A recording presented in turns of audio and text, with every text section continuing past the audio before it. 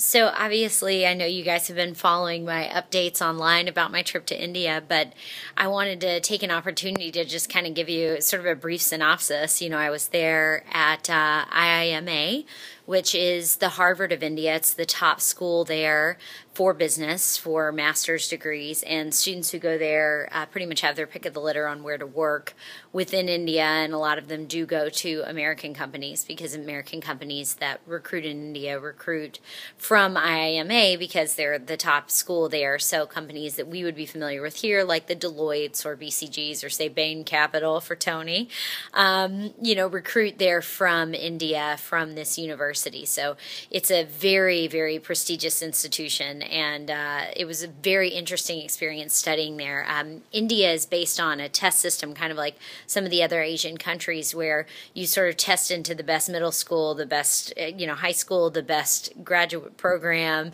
and everything up until your graduate program is based on how well you do on a test to get you to the next level.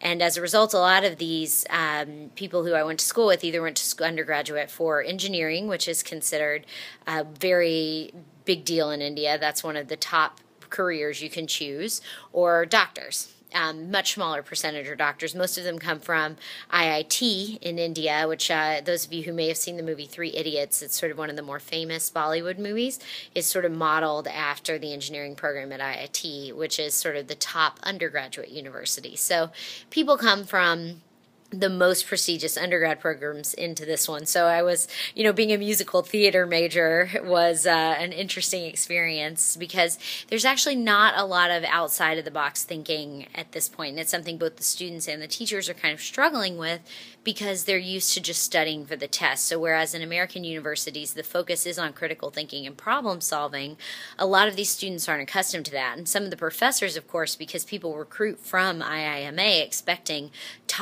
top-notch critical thinking skills, they really expected these. Uh, they really expect recruits from there to have a huge handle on uh, on critical thinking skills, and some of them actually have some trouble with that because it's not something that has been expected of them up to this point. It was more about studying for the test before. So, um, so this is so that was a very interesting experience, especially being that you know I'm sort of a wild creative comparatively to a lot of these people traveling in India is super inconvenient, especially if you're used to the United States where you just sort of book a ticket, you get on your plane, and unless there's a weather problem or some unforeseeable mechanical problem, you're going to get on your plane on time. You're going to arrive the place you're going on time, and at least within the day that you're supposed to get there.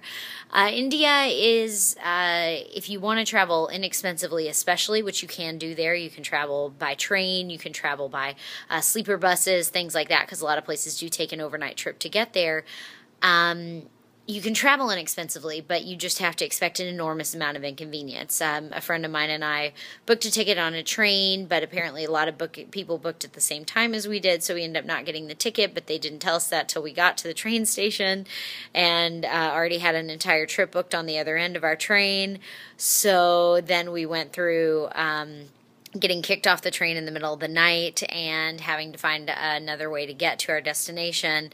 Uh, I hope to tell that story in more detail, maybe on Crashing Glass later. But there, needless to say, there were riot sticks involved.